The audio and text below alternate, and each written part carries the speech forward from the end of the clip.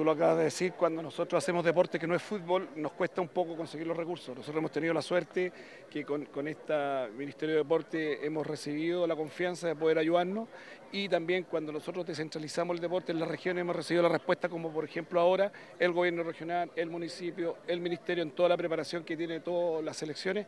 evidentemente nos sentimos un poquito más tranquilos. Sin eh, los municipios, los gobiernos regionales, el Ministerio del Deporte, el deporte no podría ser acá en Chile porque la empresa privada no, no, se acerca, pero creo que cada día estamos sumando más gente porque el voleibol es una alternativa para la sociedad, es una alternativa para el deporte, hoy lo dije, el año 2022 ha sido el mejor históricamente en la cantidad de medallas que ha entregado al país.